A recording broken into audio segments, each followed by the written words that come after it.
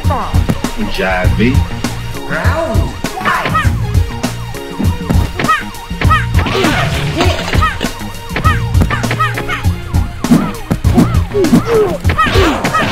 Very good.